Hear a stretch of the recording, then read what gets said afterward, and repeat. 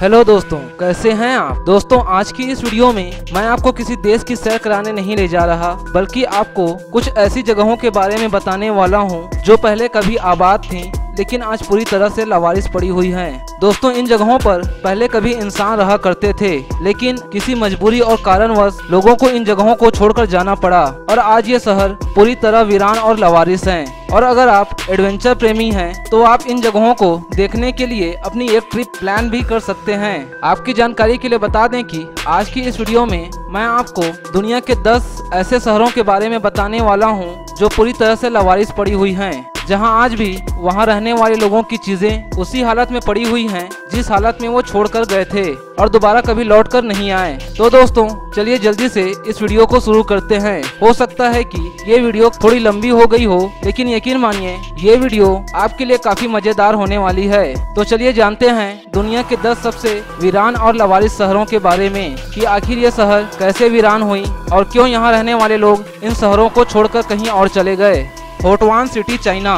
दोस्तों, ये city China के सेंगसेंग नाम के आइलैंड पर मौजूद है।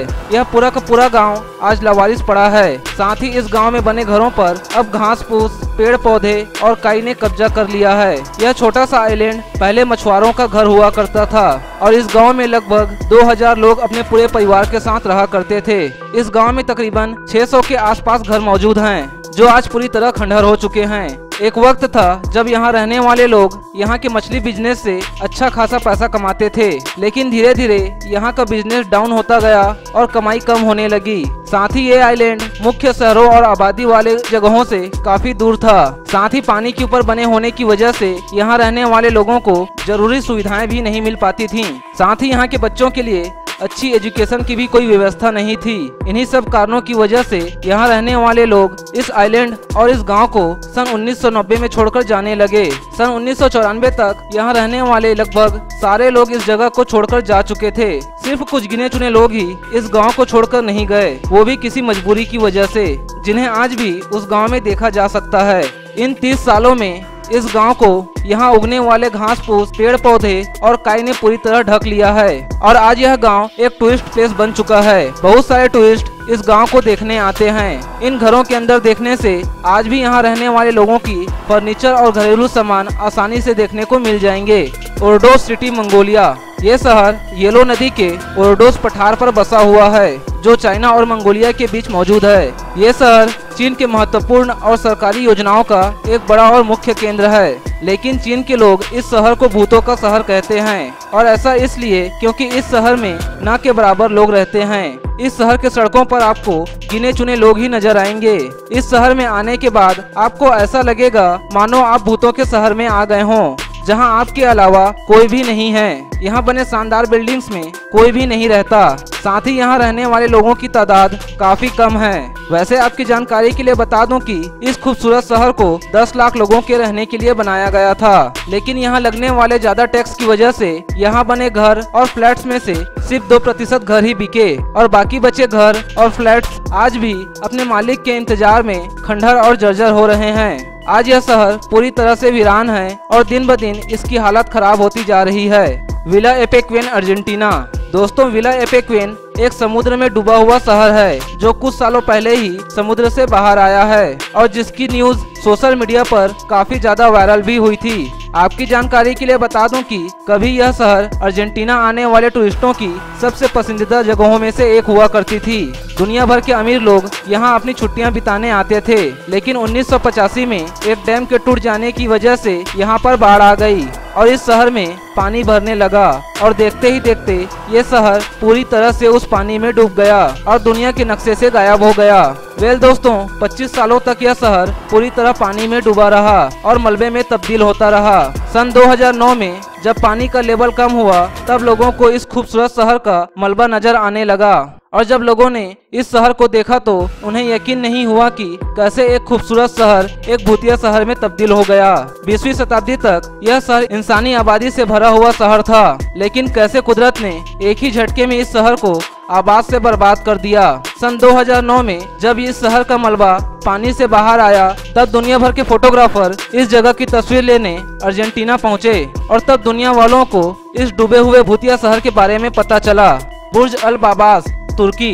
ये लावारिस शहर तुर्की की राजधानी अंकारा और इस्तांबुल के बीच में मौजूद है। यहाँ पर 500 से भी ज़्यादा घर बने हुए हैं और सारे घरों की डिज़ाइन डिज्नीलैंड के थीम पर बनाई गई है। ये सारे घर तुर्की के बुर्ज अल बाबास कंपनी ने बनवाई हैं, लेकिन इतने खूबसूरत घरों में कोई भी नहीं रहता। इन घरों को यहाँ आने वाले अमीर टूरिस्टों को ध्यान में रखकर बनाया गया था, ताकि यहाँ आने वाले अमीर टूरिस्ट इन महल नुमा घरों में अपनी छुट्टियाँ एंजॉय कर सकें। ये घर बाहर से जितने खूबसूरत हैं, अंदर से उससे भी कहीं ज़्यादा लग्जरी और खूबसूरत बनाए गए हैं। इन घरों को बनाने का काम सन 2014 में शुरू किया गया था। इस प्रोजेक्ट के अंतर्गत यहाँ 700 से भी ज़्यादा घर बनाने थे, लेकिन सन 2018 में इसे बनाने वाली कंपनी दिवालिया हो गई और इसका कंस्ट्रक्शन रोकना पड़ा। तब तक इस जगह पर 500 से भी ज़्यादा घर बनाए जा चुके थे, जिसमें 1400 करोड़ रुपए खर्च किए जा चुके थे। जब कंपनी दिवालिया हुई तो यहाँ काम करने वाले लोगों ने इन घरों को उसी हालत में छोड़ दिया जिस हालत तक ये बन चुकी थी। आज भी इन घरों में झांकने पर आपको यहाँ काम करने वाले कारपेंटर्स और लेबर्स के सामान और टूल्स आसानी से देखने को मिल जाएँगे। इन्हें देखकर ऐसा लगता है कि यहाँ काम करने वाले लोग अचानक से ही यहाँ काम छोड़कर चले गए। और आज भी ये पूरा का पूरा शहर लवारिस और वीरान पड़ा हुआ है। Hashima island, Japan. ये आइलैंड नागासाकी शहर से 15 किलोमीटर दूर साउथ में मौजूद है। इस शहर को यहाँ रहने वाले लोग काफ़ी पहले छोड़कर जा चुके हैं। यह आइलैंड नागासाकी में मौजूद 500 खाली आइलैंड में से एक है। यह आइलैंड पिछले 40 सालों से खाली और लवारिस हालत में पड़ा हुआ है। वीडियो में आप देख ही सकते हैं कि यहाँ बने घर कितने बेहतरीन हुआ करते थे। फिर भी ऐसी क्या वजह थी कि लोगों ने इस जगह को छोड़ दिया? वेल well गाइज़ यहाँ रहने वाले लोगों ने इस जगह को इसलिए छोड़ दिया क्योंकि यहाँ से निकलने वाला कोयला काफ़ी कम हो चुका था और यहाँ रहने वाले लोगों को इससे कोई फ़ायदा नहीं मिल रहा था। यहाँ रहने वाले लोगों की कमाई का ज़रिया था यहाँ निकलने वाला कोयला, जो कि अब खत्म हो चुका था। इसलिए यहाँ के लोग बेहतर ज़िंदगी की तलाश में इस जगह को छोड़कर चले गए और वापस लौटकर कभी नहीं आए। आज यहाँ आपको खाली बिल्डिंग्स ही दिखेंगे, जो पूरी तरह खंडहर हो चुके हैं और जिन पर जानवरों और पक्षियों का कब्जा है। Fordlandia city Brazil. Fordlandia city दुनिया की जाने मानी कार कंपनी फोर्ड मोटर के मालिक हेनरी फोर्ड का एक ड्रीम प्रोजेक्ट था। हेनरी फोर्ड ने इस शहर को एमेजोनिया जंगल के बीच में बसाने की कोशिश की थी। दरअसल इस शहर को बसाने के पीछे हेनरी फोर्ड का एक खास मकसद था और वो मकसद था इन जंगलों में पाया जाने वाला रबर ट्री, जिन्हें हिदिया ब्रांजिनियंसिस कहा जाता है। इन पेड़ों से लेटेक्स पैदा होते हैं। जिनसे रबड़ बनाई जाती है। और इसी के चलते हेनरी फोर्ड ने इस शहर को बसाने की सोची। साथ ही एक रबड़ प्लांट भी बनाया, ताकि इन जंगलों से सस्ता रबड़ हासिल किया जा सके और मोटर कार के लिए पहिए बनाए जा सके। साथ ही हेनरी फोर्ड ने यहाँ काम करने वाले कर्मचारियों के लिए रेसिडेंशियल हाउस, बच्चों के लिए स्कूल, मनोरंजन के लिए गोल्फ कोर्स, स्विमिंग पूल के साथ साथ कई ज़रूरी चीज़ें बनाने की प्लानिंग भी कर ली थी। लेकिन यहाँ के जंगलों ऐसी मिलने वाले रबर ट्री में अचानक बीमारी आ गई और वहाँ ऐसी रबर मिलना मुश्किल हो गया। साथ ही यहाँ काम करने वाले अमेरिकन और ब्राजीलियन लोगों के बीच आपस में तालमेल नहीं होने की वजह से यहाँ आए दिन विवाद होता था और इसी वजह से हेनरी फोर्ड को ये प्रोजेक्ट बंद करना पड़ा। साथ ही कुछ सालों बाद हेनरी फोर्ड ने इस जगह को ब्राजीलियन गवर्नमेंट को बेहद ही कम दामों में बेच दिया। आज भी फोर्टलैंडिया में बने प्लांट और घर पूरी तरह वीरान पड़े हुए हैं और यहाँ आने वाले टूरिस्टों के लिए यह एक अच्छी जगह है। पिरामिडेन पिरामिडेन नार्वेन द्वीप समूह पर मौजूद एक कोयला खनन क्षेत्र है। इस शहर का नाम पिरामिडेन, इस शहर के पास मौजूद पिरामिड आकार के पहाड़ों की वजह से रखा गया। आपकी जानकारी के लिए बता दें कि इस शहर में इंसानी ज़रूरत की हर चीज़ बनाई गई है। Hospital, movie theatre play schools, hotels और ढेर सारे रेसिडेंशियल हाउस भी इस शहर में रहने वाले लोगों के लिए बनाए गए थे। लेकिन आज इस खूबसूरत शहर में कोई नहीं रहता। यह शहर सन 2007 से पूरी तरह वीरान और लवारिस पड़ा हुआ है। आज इस जगह पर इंसानों की आवाजाही बेहद ही कम है। साथ ही यहाँ आने वाले टूरिस्टों को यहाँ मई से अक्टूबर तक आने की परमिशन दी जाती है, लेकिन उनके साथ एक गार्ड भी आता है। दरअसल 1990 में यहाँ की कोयला खदानें बंद होने की वजह से इस शहर को यहाँ रहने वाले लोगों ने छोड़ दिया था।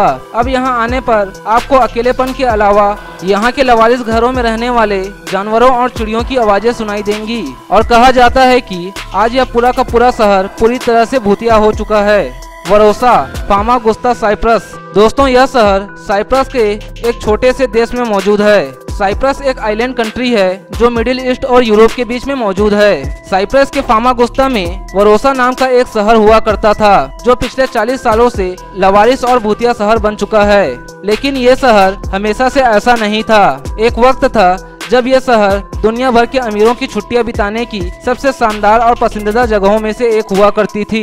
समुद्र किनारे बने इस शहर के आलिशान होटलों में कई हॉलीवुड सेलिब्रिटीज और एक्टर्स यहाँ आकर यहाँ के खूबसूरत नज़ारों का मज़ा लिया करते थे। अपने वक्त में यह शहर एक बेहद ही पॉपुलर टूरिज़्म डेस्टिनेशन हुआ करता था, लेकिन अचानक से ये सब एक ही झटके में खत्म हो गया, जब टर्की ने साइप्रस पर हमला करके इस जगह पर कब्जा कर लिया और इसे सील कर दिया। आज छियालीस साल से भी ज़्यादा वक्त हो गया, पर इस जगह पर समय जैसे उस दिन के बाद रुक गया। आज छियालीस साल से भी ज़्यादा वक्त हो गया, लेकिन ये शहर उसी हालत में आज भी पड़ा हुआ है। आज भी यहाँ रहने वाले लोगों के सामान उनके घरों में वैसे ही पड़े हुए हैं, जिस हालत में वो छोड़कर गए थे। आज भी इन घरों में यहाँ रहने वाले ग्रीक लोगों की कीमती चीज़ें उनके घरों में बिखरी पड़ी हैं। आज भी इस जगह पर टर्किश आर्मी के अलावा किसी भी दूसरे इंसान के जाने पर मनाही है साथ ही यहाँ के घरों में पार्क की हुई कारें पिछले छियालीस सालों से आज भी वहीं पार्क हैं और सड़ रही हैं।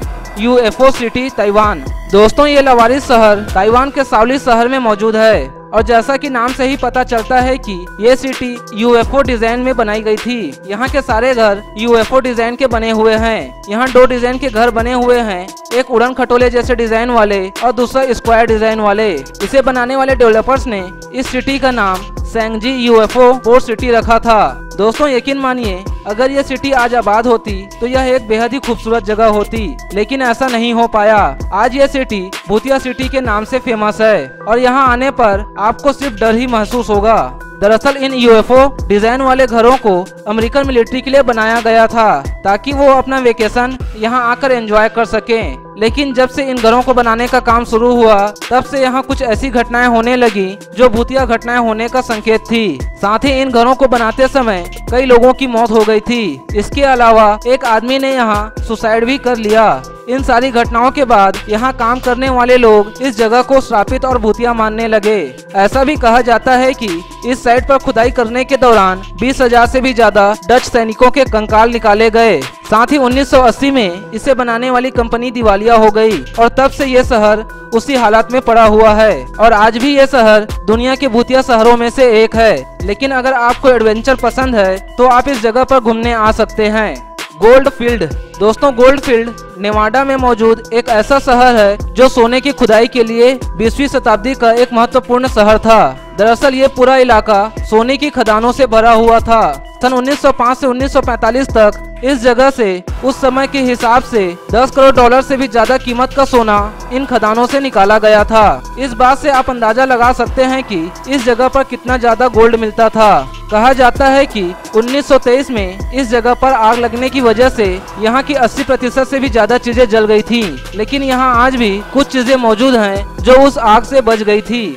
आपकी जानकारी के लिए बता दें कि उस घटना के बाद ज़्यादातर लोग इस जगह को छोड़कर जा चुके हैं जबकि कुछ लोग आज भी इस सोने के शहर में रहते हैं। इस शहर के ज़्यादातर घर अब पूरी तरह खाली हैं, जो यहाँ रहने वाले लोगों की हैं, जो वापस लौट कर नहीं आए। लेकिन आज भी इस शहर और आसपास के क्षेत्रों में सोने की खुदाई चालू है। साथ ही यह जगह अब टूरिस्ट प्लेस भी बन चुकी है। कहा जाता है कि इस वीरान शहर में मौजूद गोल्ड फ़ील्ड होटल में भूतों का साया है और इसी वजह से इस शहर को भूतिया शहर कहा जाता है। सो दोस्तों, अगर आपको एडवेंचर पसंद है और भूतों से आपको डर नहीं लगता तो आप इन शहरों में घूमने जा सकते हैं, क्योंकि ऐसी जगहों में जाना हर किसी के बस की बात नहीं होती।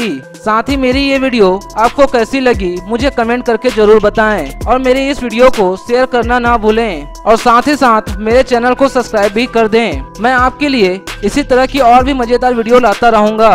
मैं आपसे फिर मिलूँगा, तब तक के लिए अलविदा, और अल्लाह हाफिज and thanks for watching this video